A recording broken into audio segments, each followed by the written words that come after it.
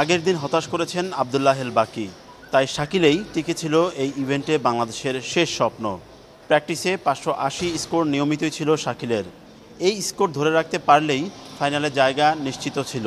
কিন্তু ম্যাচ আর প্র্যাকটিস যে এক না, সেটা ভালো মতোই টের পেলেন বাংলাদেশের এই শুটার।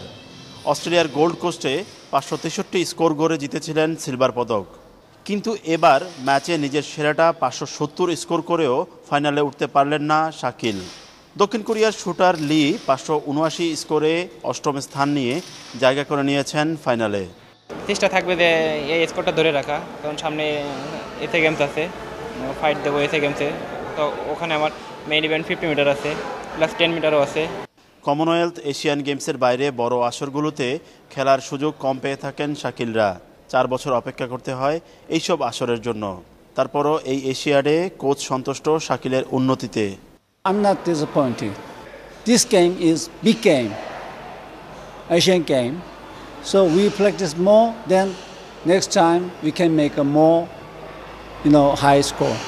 ভারতের এসএ গেমসের পর অস্ট্রেলিয়ার কমনওয়েলথ গেমস থেকে খালি হাতে ফেরেননি শাকিল এবার হলো ব্যতিক্রম অভিজ্ঞতা যারাই ফাইনালে ঢুকছে সবাই দেখা গেল গেমসের পরেই থাকে গেমস করতে করতে দেখা গেল গেমসের সাথে কোনো মানে একটা গেমস মনে হয় না যে ইজিলিভাবে সব কিছু নেয়। কিন্তু আমাদের দেখা গেল ওই রকম হয় না মূলত।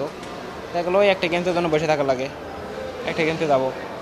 অটোমেটিক শরীর প্রেশার চলে আসে। ব্যক্তিগত ইভেন্টে বাংলাদেশের সবচেয়ে বড় দল ষোলো জন অংশ নেয় এবারের এশিয়ান গেমসে বাংলাদেশের জন্য শুটিং থেকে কোনো ভালো খবর দিতে পারলেন না শুটাররা তবে কোচরা শুটারদের উন্নতিতে ভবিষ্যৎ নিয়ে আশাবাদী। একই সাথে এইসব আসরগুলোতে পদকের আশা করলে বাকি দলগুলোর মতো আরও বেশি আন্তর্জাতিক আসর খেলার পরামর্শ বাংলাদেশের কোচদের।